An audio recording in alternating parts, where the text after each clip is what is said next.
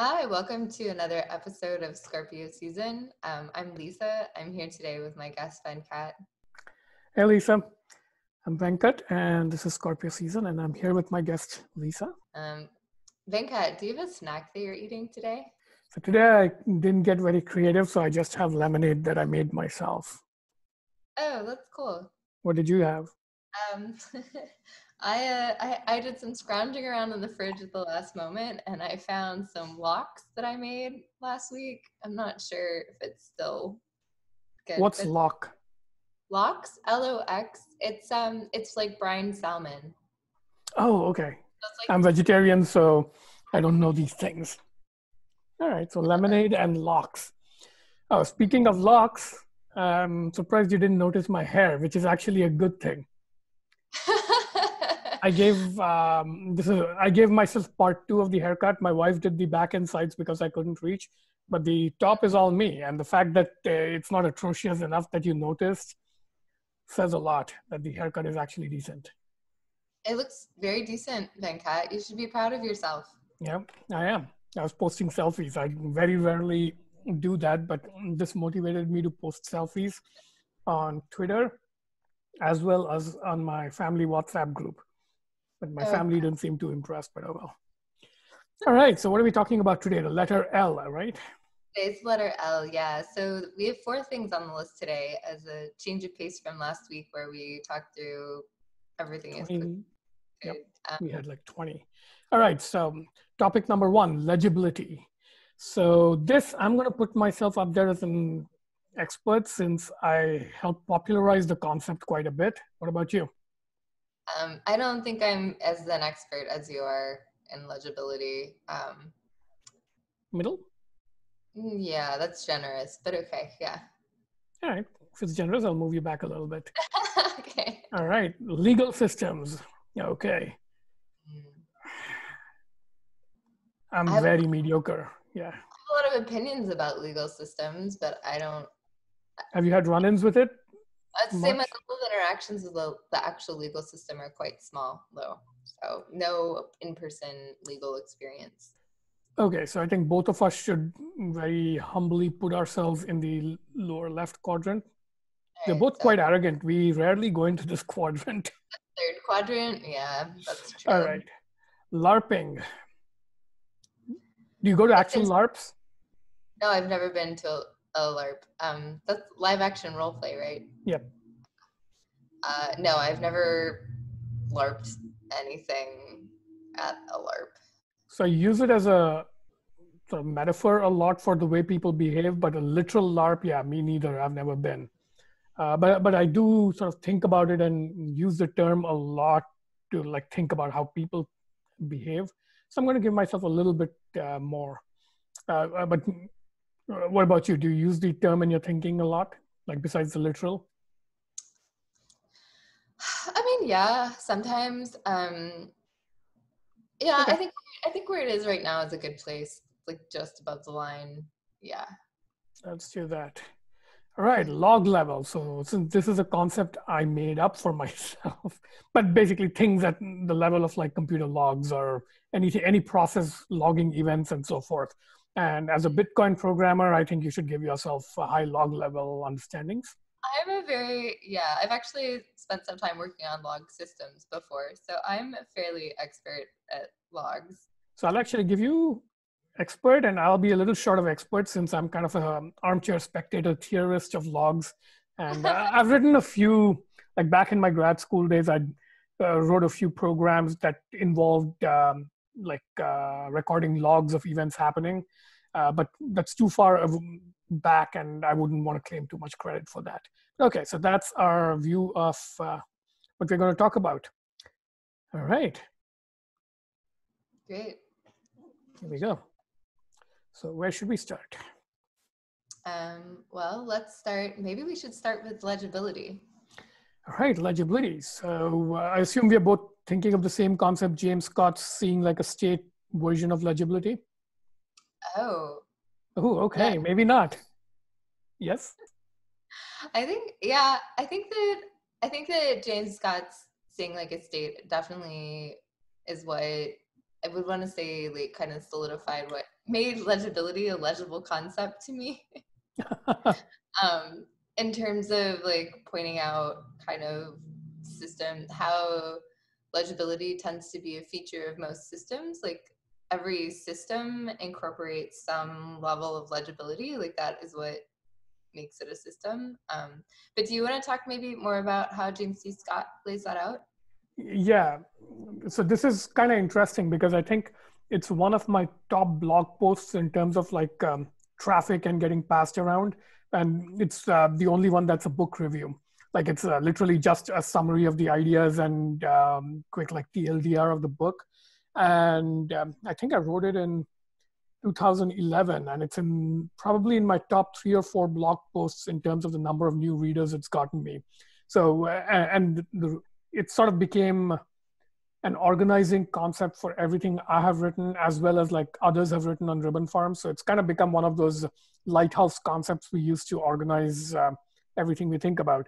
So for those who are not familiar, um, legibility is a notion that uh, James Scott um, introduced and used a lot in his book, Seeing Like a State. And the basic idea is that if you're something like a central planner, and you look at a complex, um, especially social reality, like say a city or a forest, and you look at it from the perspective of uh, uh, what you want to do with it. So, for example, if you're a government uh, forestry officer, you want to like maximize yield of timber from the forest. So you tend to look at it from that very narrow perspective of this forest is basically a natural resource for uh, lumber and you kind of um, everything else about the forest stops making sense to you so it comes across to you as noise and that's illegibility and you imagine that it's like uh, meaningless chaos and it doesn't mean anything simply because you're not interested in it so in that sense the illegibility is sort of a false sense of um, chaos and uh, incomprehensibility whereas really what's happening is because your focus is so narrow on like one aspect of the system everything else you're not able to parse it and typically, if you have a lot of power, um, like government agencies typically have, that's why it's called seeing like a state, you will do things that destroy the things that you don't understand. So um, that's the concept of legibility and illegibility. And James Scott's version of it is seeing like a state means looking at what you understand, sort of um, dismissing what you don't understand, and then forcing the system to fit into your legible understanding of it. So an example of that, again, uh, scientific forestry is what he uses, which is uh, if you're only interested in the timber or lumber yield of a forest, you will look at all the other kinds of trees and animals and shrubs as useless. You might sort of um, uh, encourage cutting down of all the other aspects of the forest, and then you end up with all these monocultural stands of like the same kind of tree because you want the highest yielding variety of trees. So you make sure all the trees are there and they're planted in neat rows. And one of the effects is uh, you end up with um, monoculture uh, fragility. So if there's a pest or an insect or something that damages your one variety of tree, it can take down the whole forest. So that's kind of the, in a nutshell, uh, what um, James Scott's means by legibility and illegibility. And a related thing that he does not talk about in his book, but a lot of people use as their uh, short understanding of what legibility is, is the uh, parable of Chesterton's fence. So, uh, uh are you familiar with Chesterton's fence? Oh, so this, uh, you've probably heard of it, but maybe not the name. Uh, but it's the parable goes that there are two people walking in a field and there's a fence across it. And one of them is a visionary urban planner type person and says, uh, I don't see the point of this fence. I'm going to get it torn down and I'm going to like build like a city or build it here. And the other guy says, uh, I'm not going to let you do that. Only if you can explain to me why the fence is there in the first place, then I might give you um, sort of uh, my go ahead to tear down the fence. So that's sort of a heuristic of uh, if you don't understand a complex reality because it's illegible to you, then until you make an effort to understand it, you shouldn't actually try to turn it, uh, tear it down. So it has a conservative bias if you are biased towards that.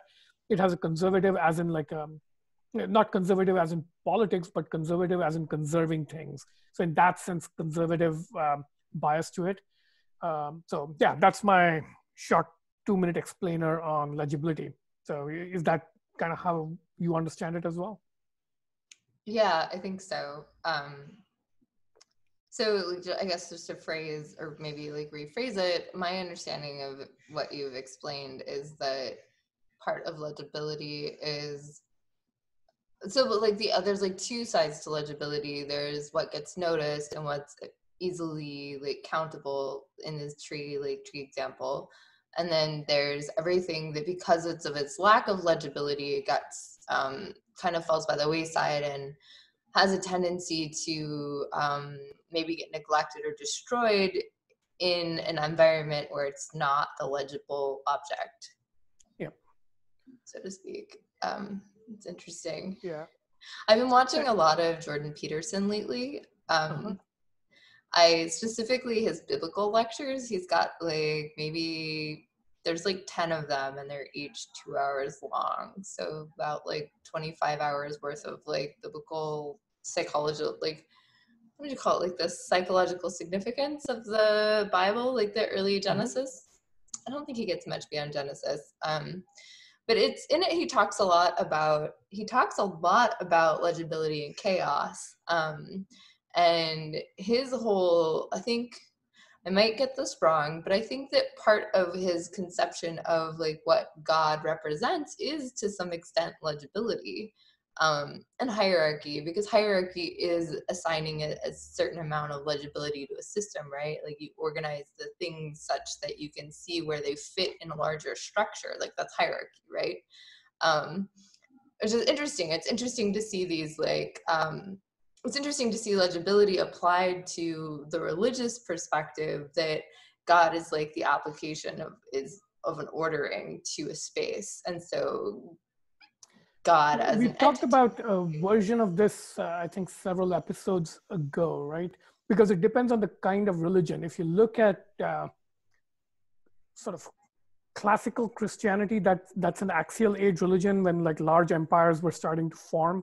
Uh, so it sort of uh, mirrors the institutional structure of large empires with an emperor at top and like courtiers and like a large administrative apparatus. So Christianity has that sort of monotheistic, not just monotheistic structure, but um, sort of an institutional structure under it. Whereas if you look at Old Testament stuff, it's a lot more illegible. If you look at polytheistic religions like Hinduism, again, it gets even more illegible. So I think you have a sense of the conception of religion tends to mirror the society that produced it. And then it becomes sort of a legibilizing lens on the society itself, right?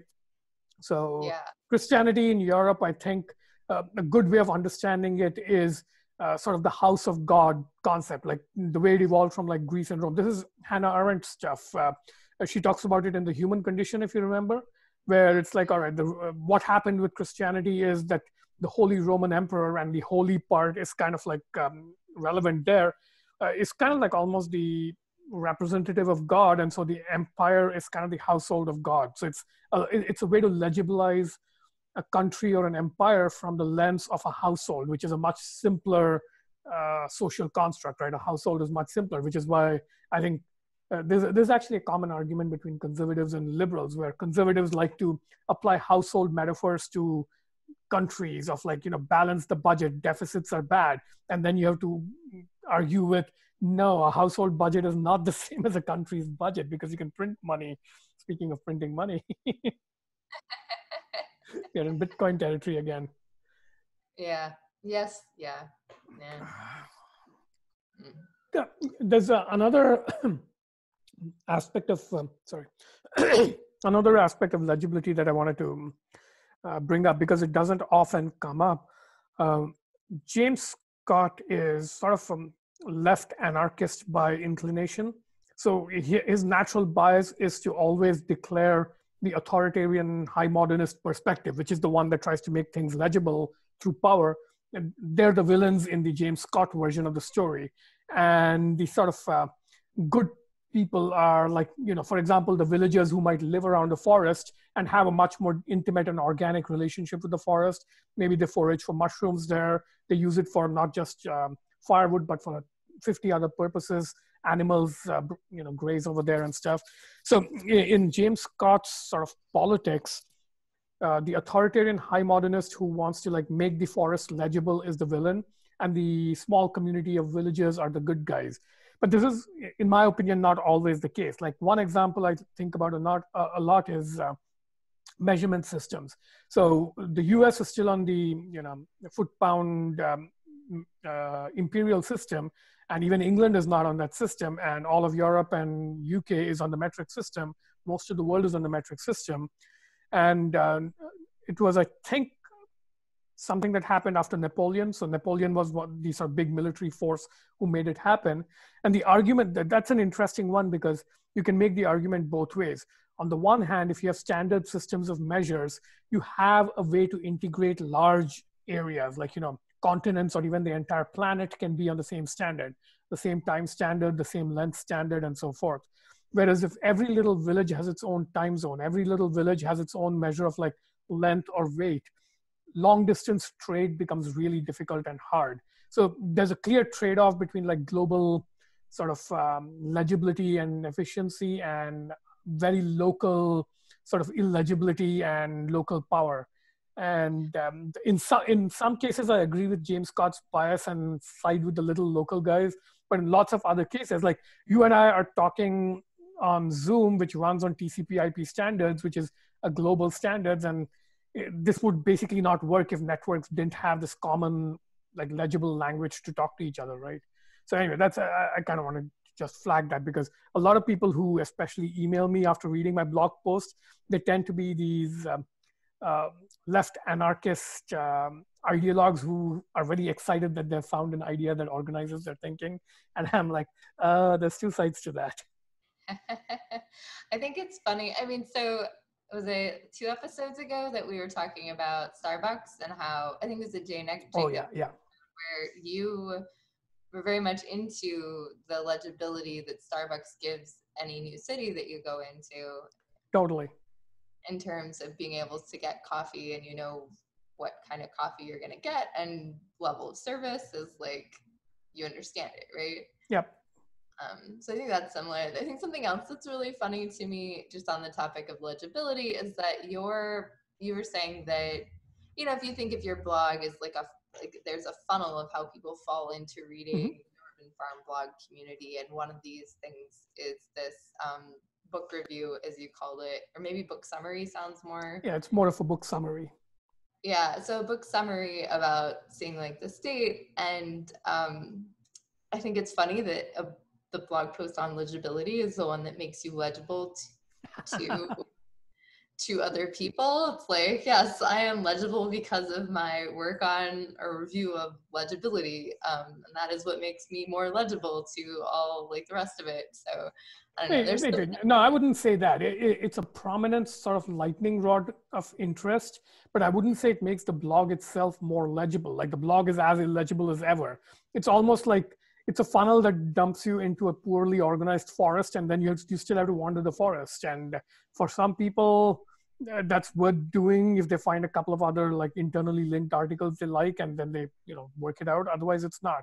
So um, it, legibility is not the same as visibility. There are extremely visible things that are not very legible and there are extremely legible things that are not very visible right? So it's um, they're kind of orthogonal i would say Wait, that's an interesting distinction there. I think maybe to some extent I have them like very closely like I think in my mind that legibility and visibility are like very similar. Is it that the visibility doesn't necessarily like contain a structure?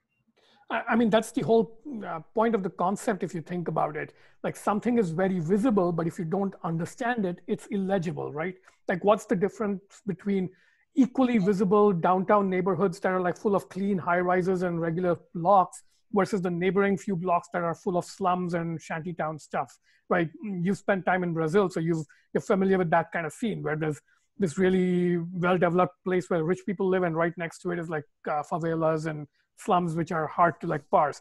They're both equally visible, but one is a lot more legible than the other. Like the neighborhoods might both be like you know so many square miles, but one is you look at it, you're like, all right, this is how I navigated. That's the prominent landmark that's the shopping district, that's the residential. Whereas you look over here, it's this mess of like uh, tarps and weird constructions.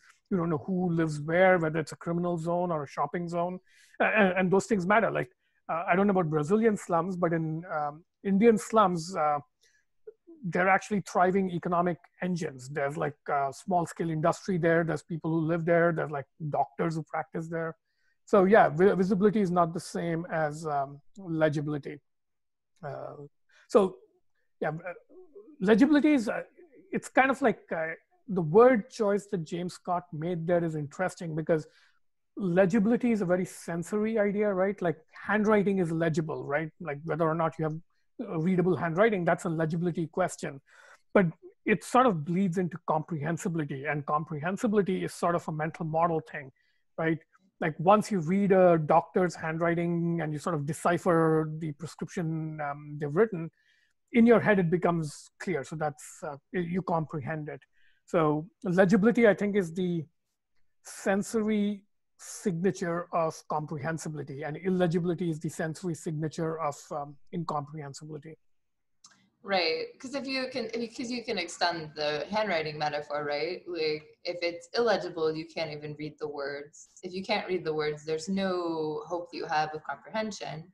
Um, but just because you can read the words doesn't mean that you'll have the ability to comprehend it. It just means that you'll have a starting point, sort of, to yeah, yeah. And there can be levels to that, right? Like the actual lettering may be legible to you and you sort of can read the literal words, but maybe you're not familiar with the actual words. So you have to look up the dictionary. So that's a second level, level of legibility. And maybe you're not used to that idiomatic usage. And so that's a third level of illegibility of you don't know the subculture from which that particular passage has come. So you kind of misread it, right? Uh, so there's like layers and layers in um, legibility and illegibility. And, and it's, this this relates to what we were talking about i think under l literacy because literacy is the ability to make things legible to yourself. Like the same exact scene it could be legible to you and not to me. Like um, yeah. the uh, example i'm thinking of is a friend of mine he's a martial artist and um, for a long time he was trying to get me interested. I'm not even though like i said last time i have a yellow belt in karate uh, but uh, he shared this video with me and he was like, wow, look at that. That's like so much sophistication and artistry in those moves. And to me, it was like, I can't tell this apart from any random, you know, movie fight. And he's like, oh yeah, it's not legible to you because you don't understand the grammar of, uh, or the visual language of uh, fighting. And there's a really good article about this in, um, about John Wick, which is one of my favorite uh, movies. So there was a whole article about sort of the visual syntax and grammar of the fight scenes in um, John Wick.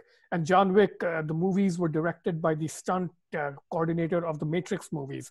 So the guy is basically a stunt guy, and he decided to make a movie with um, and showcasing fighting at its core.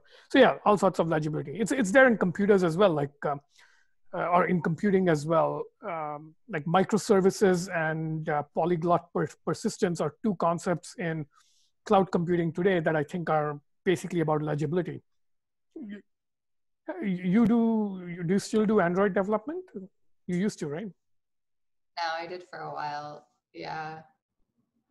A polyglot persistence is basically, if you think about it, like the computing equivalent of um, the Tower of Babel story where it's like everybody use your own language, polyglot, right? So that's an illegibility of uh, linguistic landscape. If everybody's speaking the same language, there's a certain legibility to a larger culture. Whereas if every village is speaking its own little language, that's more illegible to an outsider looking at the whole system. Yeah.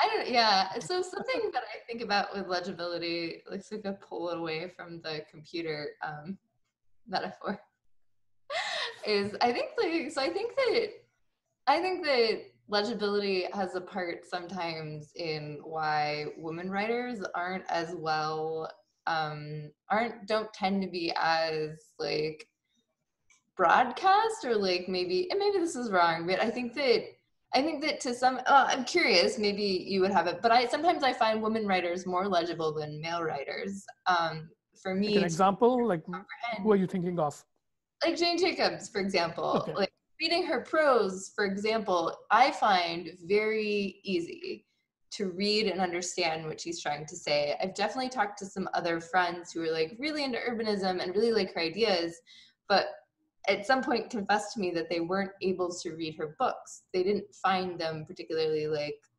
comprehensible to them or like something about the way that she wrote. And I don't know, maybe that's not something that everyone experiences, but um, sometimes I am really cognizant of when I'm reading a book, whether it's a male or a female writer, like there's sometimes you can just like tell what that writer is taking, not for granted, but kind of like what the legible, what the ground is. Um, and sometimes I can just tell that like I don't have the same grounding, and maybe that's more of a like I'm reading an economics book, and when you read econo- an economics book, they're written in like a tradition and certainly like built upon certain um, ways of saying things that isn't as legible if you're coming in it from it not understanding that tradition. So it might not be like necessarily a gendered thing but i do sometimes wonder if there is some sort of legibility that is like slightly gendered.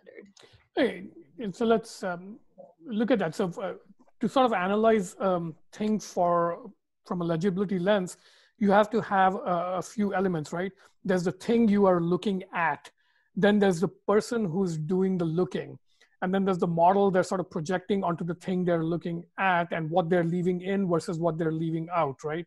So that's those I yeah. think are the four pieces of analyzing a legibility puzzle. And okay. um, like uh, let's take a simpler example than Jane Jacobs, like somebody like Agatha Christie, right? So Agatha Christie is a woman mystery writer, and what she's looking at is, I guess, the complex social uh, environment of, uh, I guess, uh, early 20th century England with its like um, society and manners and stuff, and she's imposing like the very simple formula of a murder mystery, which she deploys with great sophistication. And uh, what she leaves out is, for example, like what a lot of her contemporary authors left out, which is sort of the inequities and how like um, the servants were treated in that era in England and so forth. Like in her novels, it's always fairly straightforward that the middle class people are the interesting people. The murderer is always going to be one of them. The servants are kind of like not that important, and there's a clear conservative bias and so forth but yeah, I would say uh, she she makes uh, what is this Edwardian England or whatever 1920s England. She makes it legible through the lens or perspective of a murder mystery, and I think that's so. I, I would say for that example, I agree with you. Where you know, male murder mystery writers tend not to be as legible. They're like a little too caught up in their own sort of uh, uh, in their own head, like describing the Byzantine complexities of the world the detective is living in or something. Um, so actually, so maybe here's here's a way to sort of uh, take your hypothesis, which is quite often in patriarchal societies, women are on the margins looking in. So fundamentally, they're outsiders looking in as spectators from uh, who are not allowed into the core of the system, whereas men, by virtue of having power in the system, they're immersed in the middle. And it's quite natural that if you're on the outside looking in, you're able to take in the whole system and form kind of like a legible view of it. Whereas it's like forest for the trees, like literally the metaphor of being able to see the forest and not being able to see the forest for the trees. So women are able to like maybe see certain forests better and men are caught up in the trees. Does that sound like a good theory?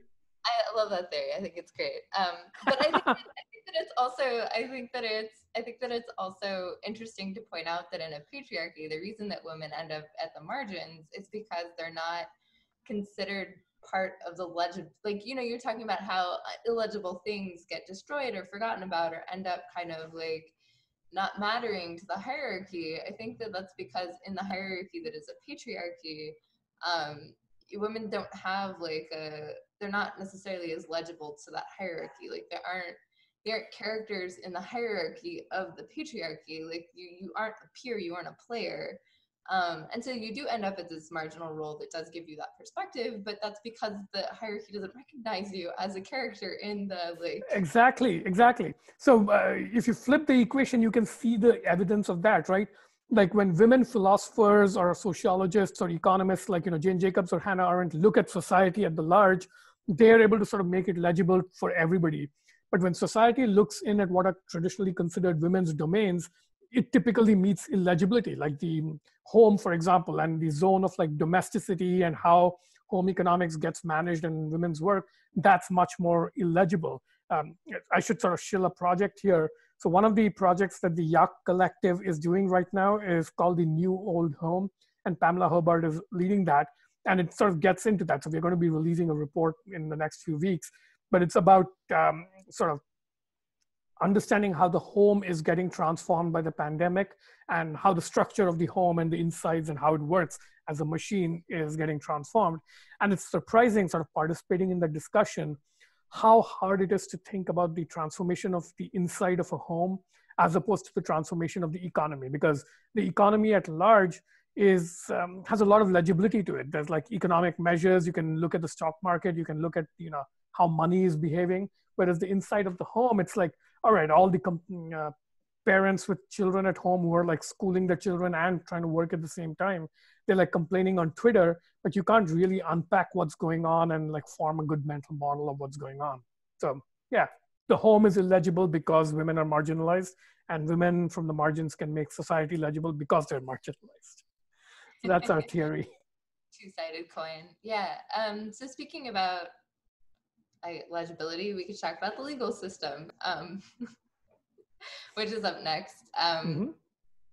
Which I think, okay, so I think you can apply the lens of legibility to the legal system that to some extent, um, at least in the tradition of, let's say, like the Western tradition, um, to some extent, like there's, so I think the one class I've taken on legal stuff would be the business law class I took in undergrad. Um, and one thing that stuck with me from that class is this kind of like hierarchy of what ends up being um, legal versus not legal. Um, so like the whole concept, at least as it was presented, is that there's kind of this like spectrum of like there's definitely things that like are ethical that you should do or shouldn't do.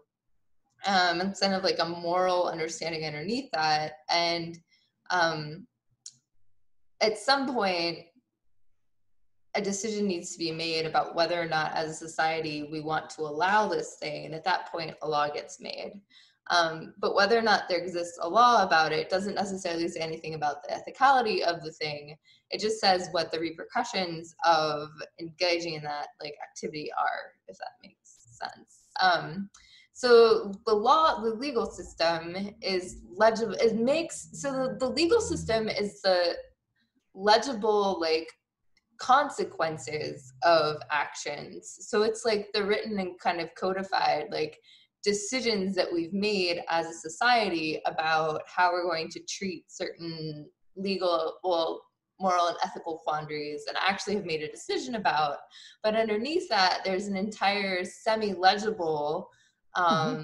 kind of moral system and ethical system about how we as humans should like behave and interact that doesn't necessarily reach that level of legibility that is like a law has been written about it I think that's uh, exactly right. And um, in the West, I think there's a spectrum between kind of like the Austrian Hayek kind of like um, tradition of um, legal systems on one extreme, which is all about like, you know, almost paving the cow paths of this is sort of conventional practice in this area of how people traditionally deal with each other. Then somewhere in the middle, you have the English common law tradition, and probably on the most formalized legible end of things you've got uh, the us and france which tend to have like i think more um, formal top down slightly more designed versions of legal systems compared to like parts of continental europe or english common law. And uh, if i try to extend your scheme to the east islamic law was uh, pretty sort of uh, codified top down so it has less of that legible subculture because islamic law was interesting because Islam started out in the Arabian Peninsula, but then spread across like 10 other cultures that were very, very different. So it ended up being top down partly as a result of like a colonizing uh, aspect to how it spread. Um, and I think Indian and Chinese legal traditions tend to be a lot less legible because they've kind of had like uh, continuity from older religious systems of laws that kind of eventually had a Western secular system of law bolted on top. So it's a mess, basically. Um, yeah, so I think legibility is an interesting lens to apply on legal systems. And uh, I, this, by the way, I think is why the crypto world's uh, code is law thing. There's some serious problems with that because code is not law. Code is sort of a legible map of some unarticulated understanding of law.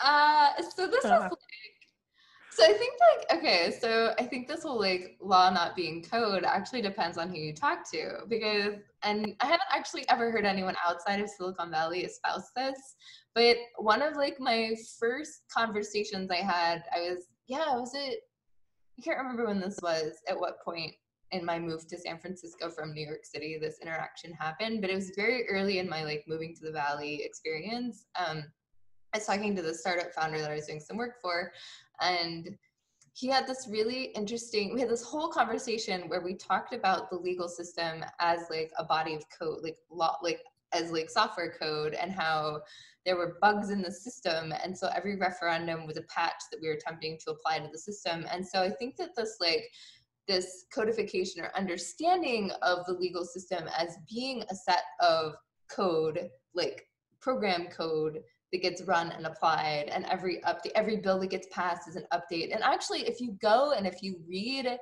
congressional bills they are written like certain types of specification patches in the mm-hmm. software mm-hmm. update process because and like so in the Jane Jacobs episode, we talked about the bill that got updated by Robert Moses, which then led to the introduction of the usage of eminent domain in New York City. Um, part of the way that he wrote that law was like had to do like it was an update we're going to update this thing using this thing pointed over here and it wasn't you don't spell out exactly what's happening you're like in section so this like portion update section 22 of code 34 with the following replacing this language with this language and so if you want to understand the whole picture of what's happening you have to put all the patches together which is a lot like how code works. So i think that I think that the understanding of the mechanics of how code is written and then uh, like comes into being and becomes a set of laws in a book is very similar to the way that code is written and deployed. Um, so that's actually interesting because what you're describing is a very sort of pragmatic metaphor of code as law, whereas what a lot of like um, crypto enthusiasts mean when they use the phrases. They literally are thinking code is um, law in the sense of this abstraction of a particular program or smart contract I have in my head. It's literally a self-enforcing code of law, and they don't have all these ideas about like update processes and like eventual learning. Like the system kind of like the, what you're describing is a process of you have an initial abstract conception of a solution to a problem it gets sort of compiled onto the computer that's the real world. It runs into problems you do updates you sort of trial and error you kind of figure it out. And i think the dangerous form of code is law tends to like almost skip over or misunderstand that process of learning that is uh, like long-term software deployment. Like uh, jonathan zittrain made a very good version of this argument where he actually made um, so he made this in a very direct uh, legal analogy uh, where he talks about how laws are written and then you know executed by the executive like take anti-smoking laws right? So congress might pass a bill saying you're not allowed to smoke in bars and then eventually through like layers of executive authority an individual bar might put a post in no smoking sign and it's still up to the bartender to say yeah i'm going to overlook you this or you go out that kind of thing right?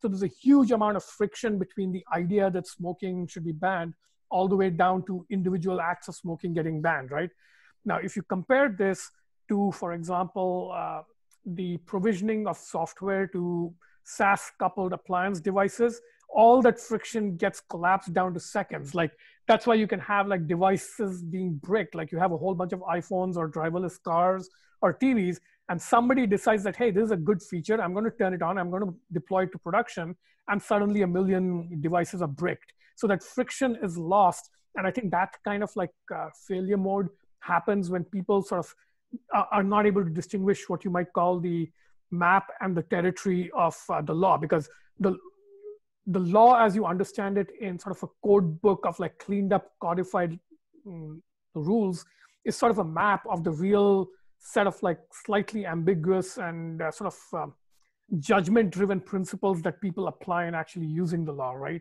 so that's the difference between the two so to me the law is something that's in the head of a very trained lawyer or judge who's been spending like 30 years in a particular legal system the stuff in their head is what I think of as the law. Whereas for a lot of people, a law is okay, all the rules that are in this list of rules in this book, that's the law, right?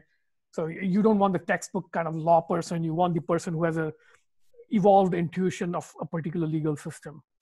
Yeah, who was the judge that there was a judge in particular that I think really um, exemplified what you're talking about about having this working kind of knowledge of how all the laws fit together and the reason for it. Um, who adjudicated the um, Oracle versus Google case a few years ago.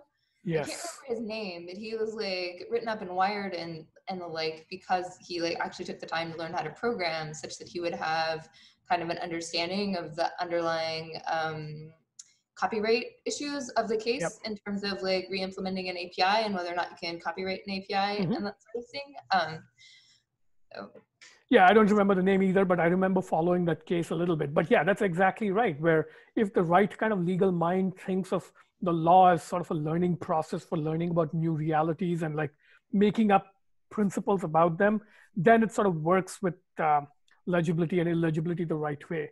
If not, it's kind of authoritarian high modernist, and that can actually be done. Um, uh, uh so I want to like throw out a couple of examples on the other end. So there's this principle in authoritarian systems where if you're a dictator and you want to create a system of laws to oppress your people, then actually the rational thing to do is to make your legal system so complex that basically it's illegible to everybody who's being governed by it. So just through the like everyday fact of living your life, you're probably in contravention of like a bunch of different laws. And that gives the state sort of a default ability to basically pick up anybody off the street and find some charge to accuse them of, right? And this is how dictatorships work deliberately. And even the American system, I think, is now complex enough that in principle, it's not supposed to be that way. But in practice, yeah, if you just walk out on the street, you're probably violating some law or the other, and a cop could probably bust you for that. Isn't so that's, that, uh, yeah. Yeah. I feel like that's like the experience that you hear from the black community in America a lot is that the yeah laws get, you know, jaywalking, broken tail light, like like that sort of stuff isn't something that well, I did get I have actually been pulled over by the cops for jaywalking once, but that was as a high school student next to my high school where the cops were hanging out across the street just waiting to catch someone jaywalking like yeah, and jaywalking is at least a fairly legible law where most people are familiar with the term. They know that it's in principle illegal, but they think that most of the time they'll be let go and they don't bother to take it seriously. But if you're black, then it's probably something you're aware that you could be busted for. Yeah, uh, but, but there's, I think even it gets worse because there's lots of laws that you're probably not even aware exist, but cops who have a you know motive to bust you will know about it I right, Like Texas, this is um, the one about carrying wire cutters. Like, oh. I didn't know this.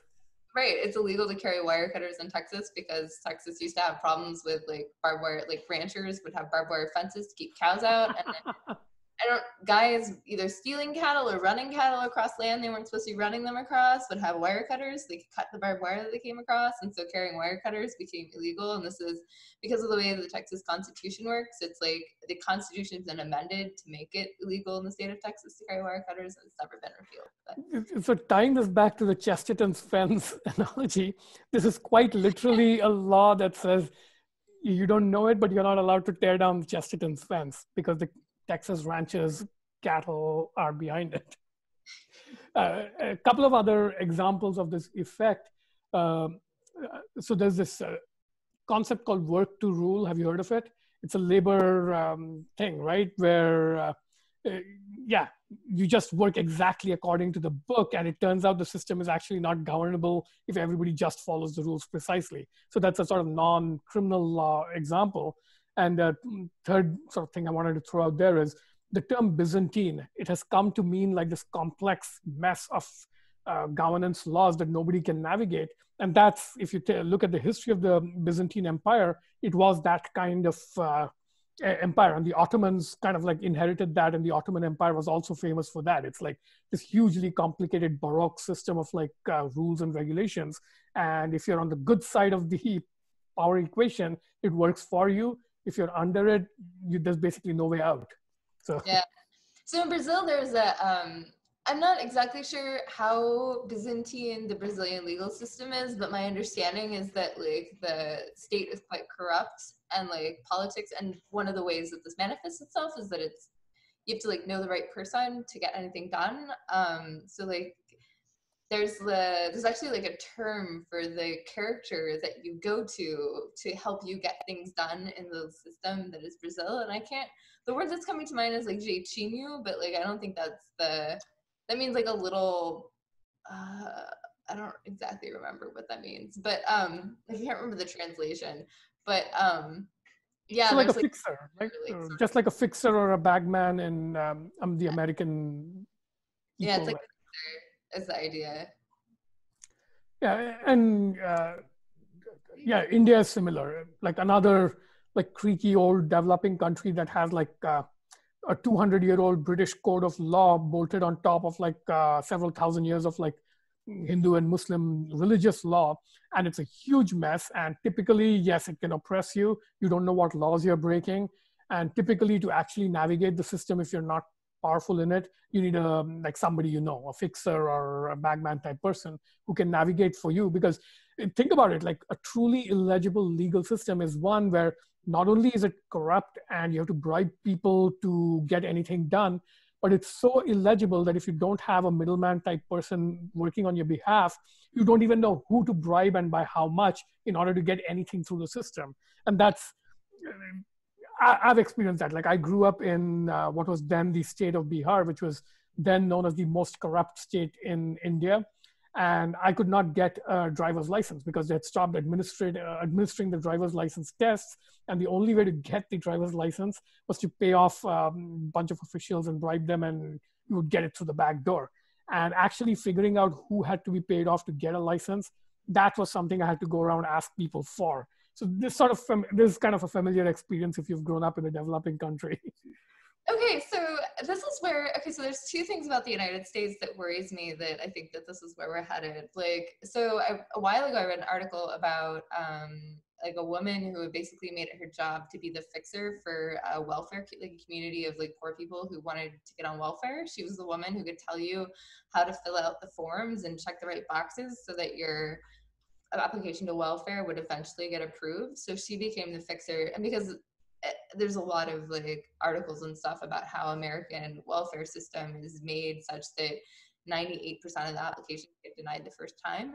Mm-hmm. Um, and so it becomes this really laborious process of like figuring out exactly what right box to check and what to say and what not to say so that you get your stuff. And so in that environment, someone who knows how to navigate the systems, like a niche develops, right? Um, yeah. The other thing that I think I think to some extent coronavirus is going to create sort of this sort of a like a void or like a backlog and that like so yesterday a few days ago i saw someone tweeting about the fact the california state dmv is shut down and as a result they're not processing driver's licenses and it's not clear when they're going to be back up um, when they shut down there was already a backlog and there's going mm-hmm. to be bigger back. I think he said like his tweet said there was like a three month backlog, and now they're not supposed to be open for another X number of months. So by the time they do open, there will be probably close to a year's backlog. And California is a state that you really can't survive in without a driver's license. Um, like the DMV in California is always overrun and like takes yep. forever to go through. Like I had, I I spent a lot of time at the DMV in California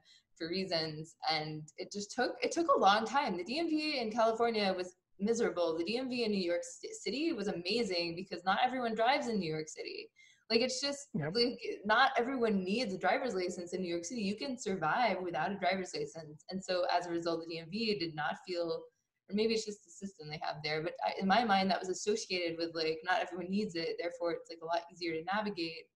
Whereas Texas DMV is also kind of terrible. Um, I had to go get a Texas driver's license, and luckily, luckily I got that done like three weeks before everything got shut down, so I'm okay. But like, yeah, yeah, I don't know. Uh, I'm trying to think back which has been. I, I would definitely agree that California has been the worst uh, driver's license experience for us. Like, um, we got lucky. We got an appointment in San Bernardino County. Like, uh, we had to drive an hour out of LA to get an appointment quickly, but it was the worst. And I would say Washington was okay, but New York State was um, very easy. But we were in upstate New York where there was no crowds. But I remember I, I had a Texas license for a year back in 2000, 2001. And that was probably the easiest. Like I had moved from Michigan to Texas for an internship. And it was like in and out, five minutes on a screen. It was the first time I'd taken one of the screen tests. Everywhere else was still paper back then. But yeah, Texas was good back then. At least Austin was. I don't know, know what it is like now. But yeah, I think the driver's license is uh, is, is an interesting sort of litmus test of um, the legibility of a legal system because it's the single most common point of contact most people have with the legal system, right? So, yeah. Yes, and I had to have a Texas driver's license in order to get like some tax thing for the house that I live in. Thing. So it's like mm-hmm. tied. Like it, it is like it's tied to a lot of your status in the legal it's your legibility in the legal system. Yeah you're not you're not a person till you have a driver's license exactly. Yeah you're not a person of record which is interesting. Um so we've got two more things to talk about. Should we briefly maybe hop through at least the log level one? Uh, what was the other one? Larping right? Larping uh, yeah. yeah let's skip the log level one and talk about larping instead. That sounds like more fun. We'll get to log level another time. Oh you're right, talking LARPing. about yeah let's talk about larping yeah so what's your take on LARPing? So I think okay, so LARPing means live action role play, right? Um, I think so. I, like like we said at the intro, I've never actually been to a LARP, which I believe is like you find a character you would like to present yourself as. You spend a lot of time, energy, and effort building the costume such that you look as high fidelity as this character as possible. And then you go to a convention or an event where everyone who is attending is also representing themselves as a character of their choosing. Um, yeah. It's a lot like a Halloween in the States in America, where you pick a character that you want to represent yourself as and then dress up as that and go. Um, except that I feel like char- Halloween characters that you like the difference between like a LARP and a Halloween costume is that in a Halloween costume, um, I feel like the LARP, like you're actually assuming like a role and a character, and the costume that you're putting on has like a backstory and a history, and like there's an entire yeah, like yeah. narrative around that character. And I think it's. Um, I think the distinction becomes useful when you think about the overall simulation that's happening. Like if you look at a Civil War reenactment uh, or a Renaissance fair, they're I think two of the biggest classes of LARPs in the U.S. Right. Uh, whereas in Halloween, you've got a bunch of kids in costumes running around looking for candy, and the gestalt, the overall thing that's emerging from all these kids running around, there's nothing there. It's just a bunch of kids running around looking for candy. Whereas Civil War reenactment or a Renaissance fair, there is a larger sort of theater unfolding, especially Civil War reenactment. It's explicit. They're like replaying a particular battle that took place or something. So it's like role playing an actual historical story. And a Renaissance fair. So I should amend what I said earlier. I have been to one LARP, though not dressed up as a participant. It was a Renaissance fair. So this was actually when back in grad school. It was one of the first things. Um, I think it might have been in the first couple of years uh, in the U.S. And a bunch of friends took me there, and it was hilarious because I've never seen anything like that um, in India. Because uh, in India, when you see something like something like a Renaissance fair, it's up on a stage as part of like a theatrical performance, and you're in the audience far away, right? And here it's a, a Renaissance fair is once you get past the gate, it's like you're wandering in a kind of Disneyland theme park style thing where there's a lot of people who are not breaking character at all. They're like speaking in, I don't know, medieval English or something. I guess uh, the other difference, so there's the difference of there's an emergent level to the simulation in a LARP, but the other is it's not formally organized by um, a third external party. So I would not call Disneyland a LARP, like because Disneyland and its uh, theme park employees, they're paid by the Disney Corporation to play the roles. And the focus of, on the people who are actually visiting the park, they're not in character or playing a role. They're enjoying the rides or whatever. Whereas a proper LARP, I think the participants are creating sort of the simulation for themselves. It's not employees of the corporation. Right yeah i think that's an important distinction. Um, so i think you can take so i think there's definitely like these like structured and like um, i always call them like very legible larps because it like clear when you go to a renaissance festival that there are people in costume and who are speaking foreign language like for medieval english and they're like characters and they are embodying them. And so like there's like a narrative like a a general delusion or whatever you want to call mm-hmm. it that like everyone at that fair has like this idea of this like concept of what that old england that they're represent re-representing for you through this like process um, yeah. represents um, i think you can do sort of interesting things though in applying like larp to like certain aspects of like real life um, and the one that i think is interesting to kind of apply it to is this concept of like imposter syndrome um that like this is pretty familiar or like a thing that like came up especially early in my own tech career with like myself. I don't think i ever copped to feeling imposter syndrome but i definitely felt it. Um yeah definitely felt it. But we talk about whether that was justified or not because in my mind i'm like well i was definitely an imposter. So that was a, a legitimate feeling to be feeling but i've like other friends that have also have the same feeling in the in in tech um, but like at some point one aspect of imposter syndrome is this feeling that you're playing a character that like mm-hmm. if someone came along and like asked you the right question like your medieval English, they would like catch out your medieval English accent for not actually being a real medieval English ah, accent. Ah, yeah. And so like there's this fear that like I am I am playing a game and putting on like a face and facade and it is important that I that I continue to present that to the world because the consequences of feeling to reproduce the like fantasy of myself as XYZ technology as this character in other people's minds has like serious consequences for my ability to continue earning money. Um, so I think that's that's uh, uh, what, what, you're saying suggests to me that there's an interesting spectrum of um, LARPing. So on one extreme of LARPs, there's uh, the kind of LARP where there's a very clear distinction made between reality and the role, and there's sort of a legible relationship between the two, right? I'm a real person. I'm putting on a costume, and I'm very legibly becoming becoming part of the simulation that's uh, separate from reality, right? And somewhere in the middle is something like an imposter syndrome, where maybe people who've been in the field for like 30 years and are at the top and are the CEOs of the major companies, they're like, I am the man, I am the system, so I can't possibly be an imposter or something. So there might be a minority like that, but everybody else is on some spectrum of feeling fake. And on the other extreme, you have things where, like, uh, there is no such thing as real life and like it's the whole postmodern Baudrillard uh, simulation and simulacra kind of uh, way of thinking about it. Like uh, the concept uh, I've been writing about in the last few years, the idea of being premium mediocre. That's sort of a, a LARP in a very basic sense, except that there is no reality underneath. Like if you're living the lifestyle of a gentrified yuppie in like a um, you know gentrifying part of um, big city, you're eating particular at particular restaurants, you're wearing certain clothes. There's a whole sort of quality of it's a simulation of something for the benefit of you and everybody else immersed in it. But there's no there there beneath it. It's like simulations all the way down, right? So in that sense, uh, so that's a kind of LARPing where there is uh, no reality underneath, and all the uh, way to the other end where uh, there is um, you know Renaissance fairs kind of LARPing. All right, so we've processed LARPs. So, Venkat, do you think you have like a a role that you LARP currently, like professionally? I don't think I do, but I do think I do a lot of uh, code switching.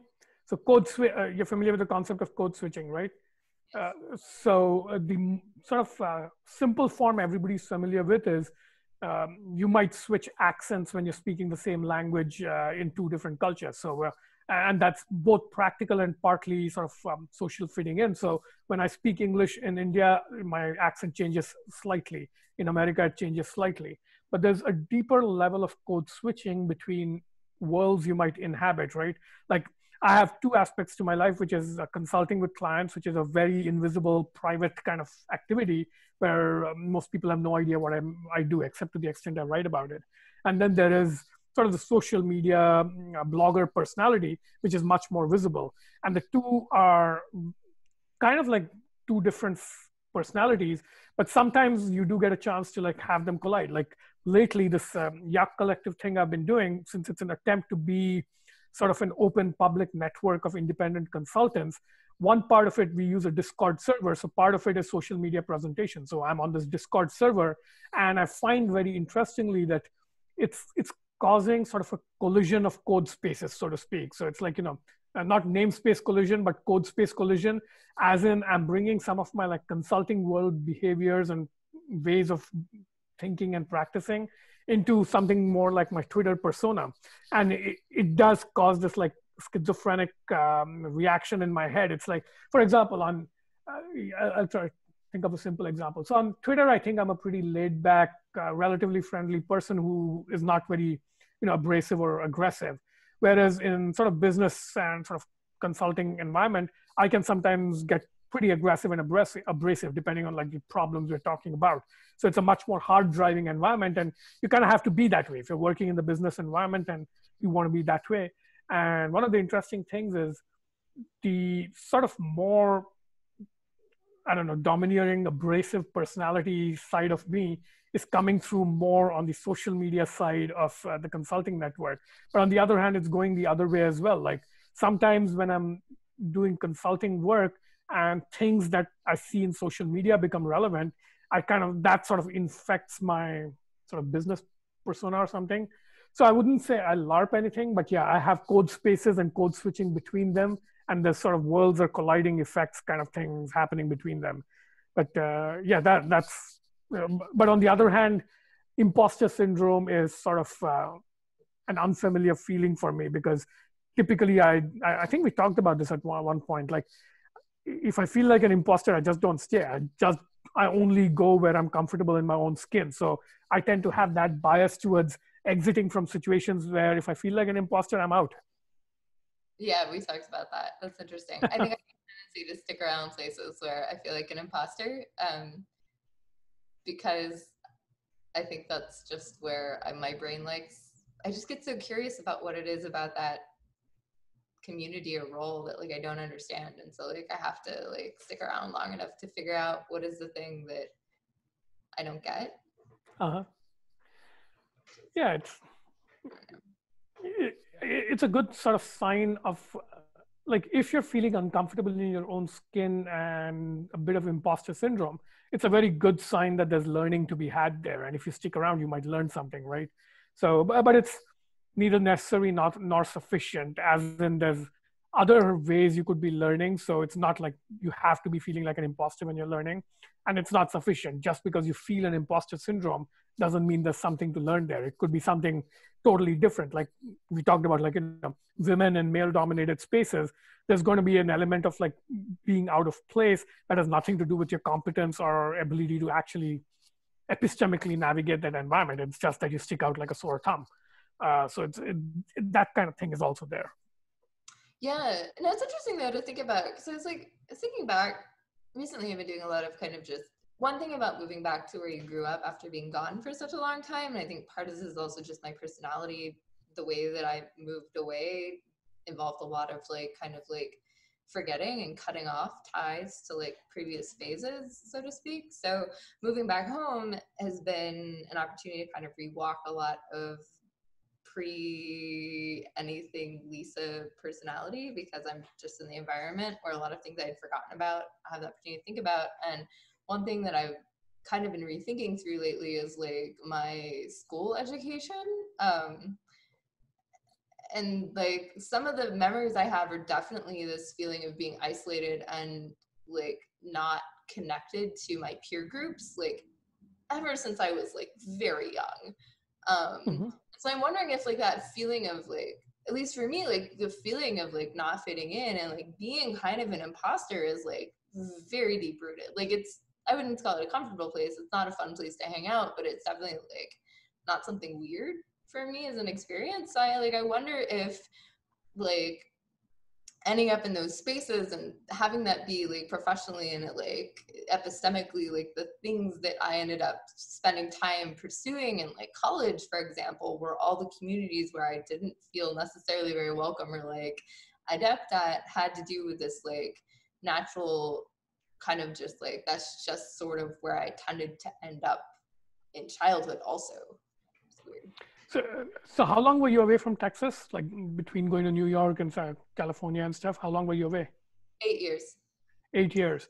Uh, but there was a difference, right? Like before, the imposter syndrome would have been uh, more like basic learning as a younger person. Like everybody feels a little out of place as a teenager, no matter where they are. So that's not not it's not being like back then you were not a fake Texan, you were a fake adult but now that you're back from your wanderings around the world, you're a little bit of a fake Texan, like oh, relative oh. to people who didn't leave Texas, right? Oh, and that actually that was like kind of a hard thing about being back in Texas. And like so the, these experiences I'm talking about though predate high school. These are like elementary school oh, okay. that I'm talking about. Oh so, wow, okay.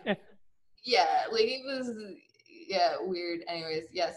Um, but like the coming back to Texas actually I'd get in cabs and start talking to the driver, you know, like Lyft, whatever. Get in the Lyft, talk to the driver because I didn't have a car until like a few months ago.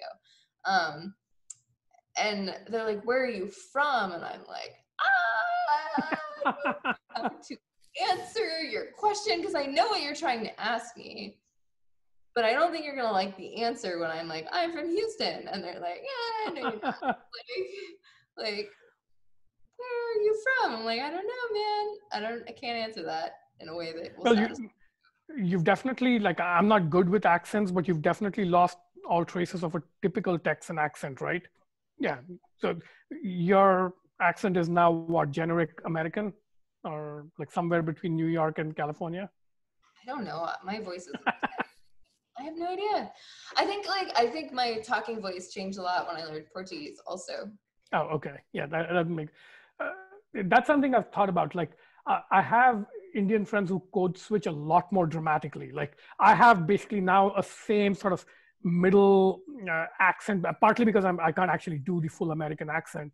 Uh, but it's like, uh, other than a few words, I don't actually switch very strongly between Indian English and American English. So I'm somewhere in the middle of the Atlantic. Hmm? You do have an Indian accent ish. Yeah, but it's not, it's somewhere like halfway between um, an educated in English Indian person living in India versus somebody who's like fully picked up on the American accent. Like I can't actually do many of the sounds Americans can, but I, I, when I speak this way in India, uh, people will immediately pick me out as um, somebody who doesn't live there anymore. Uh, other ways as well, like dress and stuff. But if I want to actually pass for local middle class Indian English speaking person in India, I have to very, very consciously like reprogram how I talk. Like it ends up being faster. Some of the sort of uh, uh, tone modulations are very different. I, I, end up sounding a little bit more like uh, Apu on The Simpsons. So um, uh, that's a whole other um, story we can talk about sometime. Uh, but um, yeah, it's it's kind of interesting. Um, there's the language aspect, but there's other things too. Like I haven't spent significant time back in India other than for like visits to family for like a couple of weeks at a time. So I haven't had your experience of truly going back for an extended period. Uh, but it, I get a taste of that when um, I occasionally talk to people who used to know me very well in high school, but basically we haven't kept up since. So um, one of these is a friend of mine. I used to play ping pong with him like every day for two years in high school. So 11th and 12th grade, so 91, 92 and he's now a neurologist working in the UK. And he recently wanted to pick my brains about something. So he said, Can we call? Like, we hadn't talked in like 10 years before that. And before that, like for another 15 years or something, I don't know. Uh, but we talked, and it was like really surreal because his mental model of me is still the way I was in 1992. So uh, he was using a nickname I had back then, and his like it was clear that he was talking to 1993 version of me. And same thing with me. Like I had the same experience. Like we were talking across a time warp to each other. Okay. Hey, Venkat, I think I need to run. Sorry. Oh, okay. Uh, yeah. So we're done for today. All right. Nice talking to you, Lisa. It's been great. I'll talk to you later. Bye, Venkat. Scorpio Season is proud to be sponsored by uh, Smokin' Screws, the premium filter for your glass pipes, water pipes, and one hitters. Check out their next generation screen technology at smokinscrews.com. Uh, we're also proud to be sponsored by Art of the Gig, a subscriber only newsletter for freelancers and independent consultants. Learn more about how to take your consulting practice to the next level at artofgig.com. Uh, great. Um, and if you liked our show, don't forget to like and subscribe.